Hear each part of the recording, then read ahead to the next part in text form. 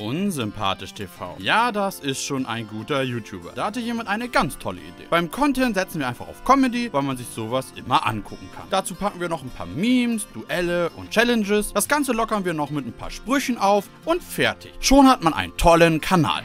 Doch dann reicht es nicht, dass er immer eine Cap aufhat. Nein, er sieht einfach aus wie jemand, der nur im Keller sitzt und nie Bock auf irgendetwas hat. Und dann kommt noch hinzu, dass er so gut wie immer im selben Raum dreht. Ich meine, warum sollte man auch Geld für den Hintergrund ausgeben, wenn die Videos sowieso geguckt werden? Und dabei sind die Videos nicht mal was Besonderes. Nicht nur, dass er oft einfach nur Reactions macht auf die Videos, die Luca ihm rausgesucht hat. Nein, ständig muss er Clips von anderen YouTubern einblenden, um so seine Videos noch besser und noch lustiger zu machen. Ich meine, geht's noch? Und bei der Gestaltung will ich gar nicht erst anfangen. Nicht nur, dass er seine Begrüßungen Outro immer gleich macht, übersteuert er einfach mitten im Video, um so ein weiteres Wiedererkennungsmerkmal zu haben. Hinzu kommt, dass Sascha einfach einen einzigartigen Charakter hat und immer mal wieder Gäste da sind, um die Videos noch besser zu machen. Und was willst du denn sehen? Nicht lachen, umschreiben, beichten, eBay Kleinanzeigen? Ja, nein, nicht. Oder doch einfach Instagram-Rapper? Und wenn es das schon wäre, könnte man ja sagen, ja, okay. Aber nein, er gehört einfach zu den erfolgreichsten Kanälen Deutschland und nach wenigen Stunden haben die Videos einfach abnormal viele Klicks. Und das, obwohl er nicht mal 10 Minuten Videos macht, geschweige denn vernünftige Thumbnails oder Titel.